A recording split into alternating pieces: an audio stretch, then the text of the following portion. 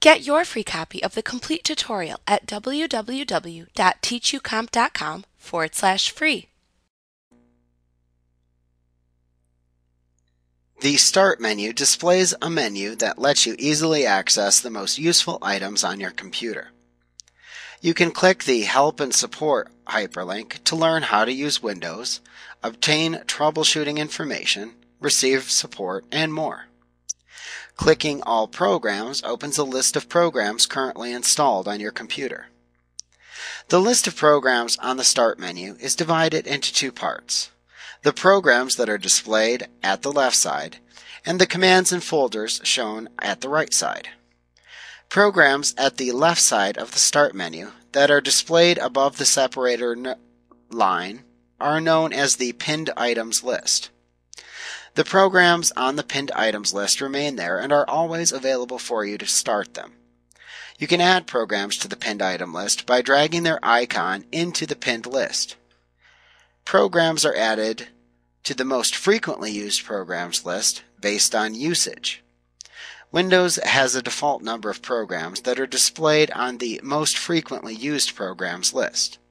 When that number of programs is reached, the programs you use most frequently replace the programs that you have not opened recently.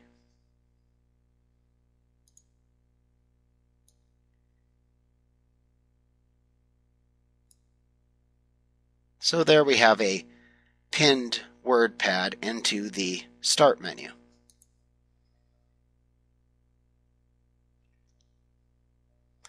To the side, it's simply displaying a jump list of the most recent documents for that particular application that's selected.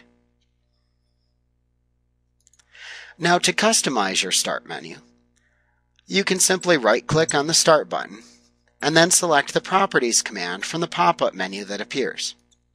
This opens the Taskbar and Start Menu Properties dialog box. Here you can click the Start Menu tab and then click the Customize button. This opens the Customize Start menu dialog box where you can change the settings as desired. Then click the OK button to apply them. Once you've set the appearance of the Start menu to your liking, just simply click the OK button again to apply your changes.